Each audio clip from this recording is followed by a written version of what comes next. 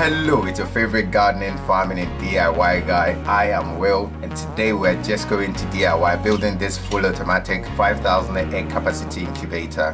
Watch this video to learn how to build your own incubator or just appreciate the skills, time, and effort invested. Please consider sharing this video, like, comment, subscribe if you are new here. Thank you if you are a returning subscriber, and finally, hit the notification button so you don't miss out on any of my new videos. Now let's just DIY.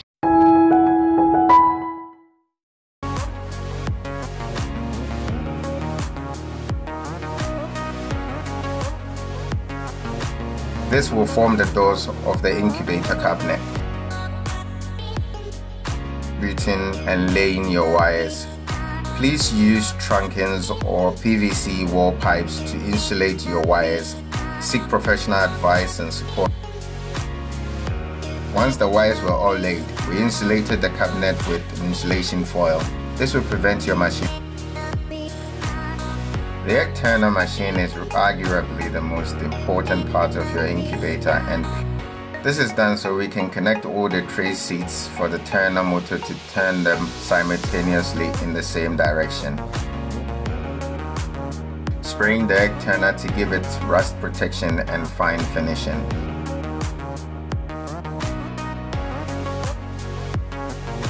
Wiring is very straightforward once you read and understand the manual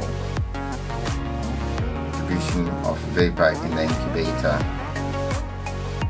Once connected, we connect the main plug to a power source and turn on the incubator now that all parts are completely installed and connected.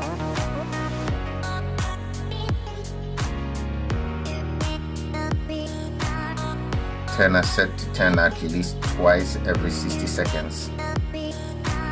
Make sure your egg tray during turning and result in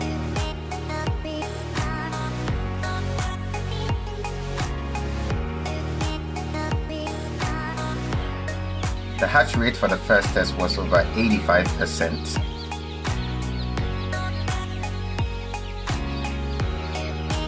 Please remember to share this and all of my other videos. Like, comment, subscribe to the channel if you are not and hit the notification bell for all of my exciting upcoming videos. Thank you for watching and I hope you enjoyed this video. I will be uploading detailed videos on how I built the cabinet, the egg turner, the humidity bowl and other parts of the incubator. It's your favorite farming, gardening and DIY guy. I am Will and I am out.